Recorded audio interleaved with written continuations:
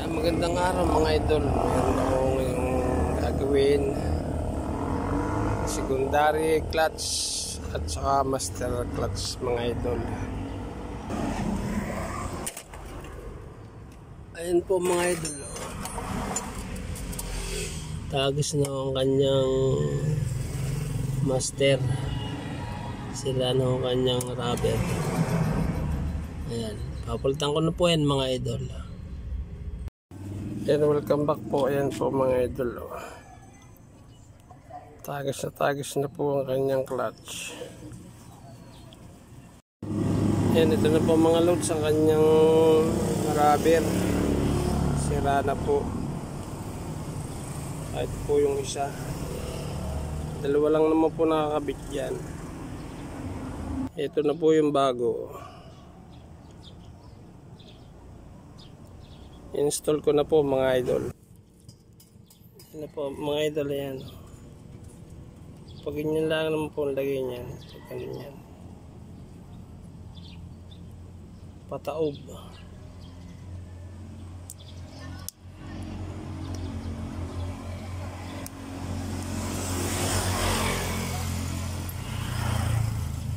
Po namang isa ay dito.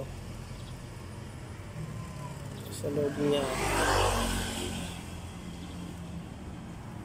Pati hayaan naman po.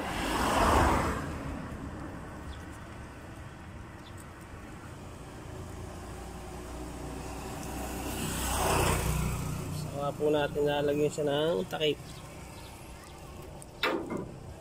Ito po yung takip po.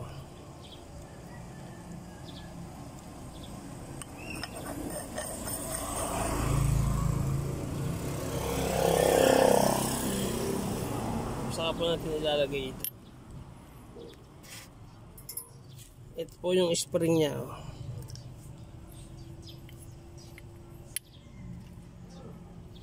Ito po ay dito nakasuot mga idol.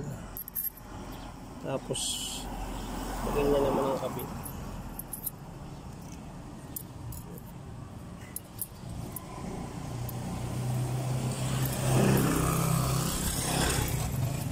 Ganyan, mga idol. eh.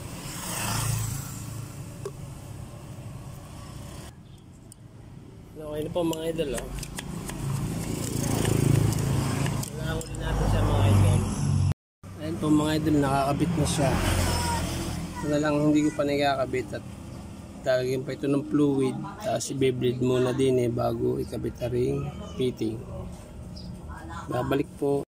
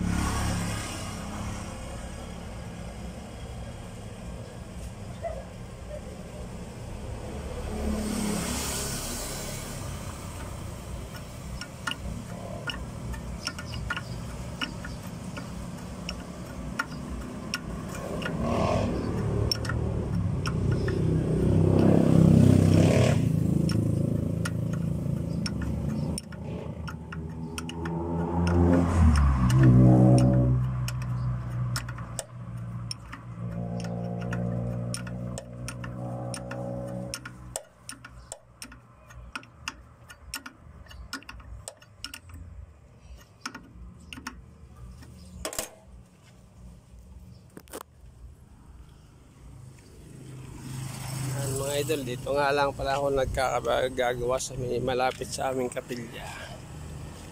Ayan po mga idol.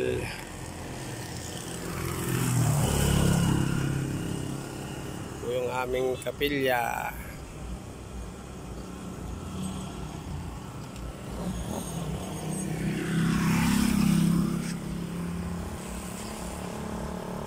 Yan po mga idol ang aming kapilya. Ito lang po nagagawa sa may kapilya namin. Malapit po. Ano mga idol, pati secondary clutch niya, ipapalitan na rin natin. Ayun ang pinaka baby master niya. Sira na din eh, puro kalawang na mga idol.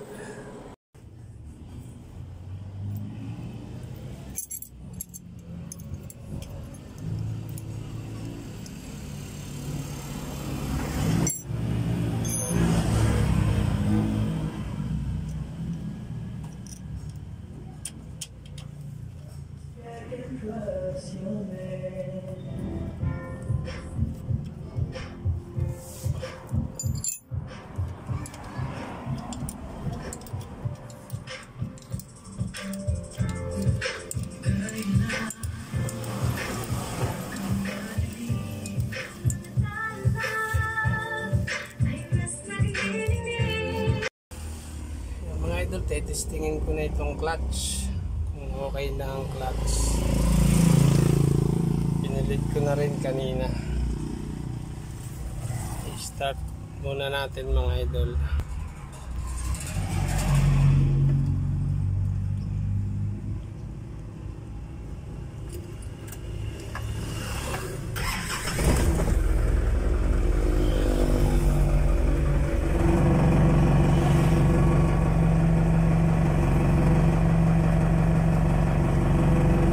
Okay na siya mga idol.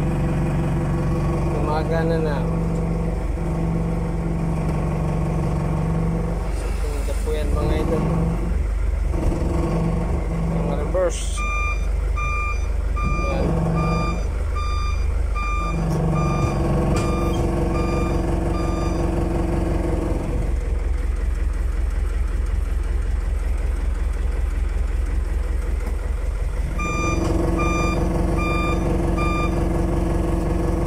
Okay na ba mga idol? Nagana ng clutch.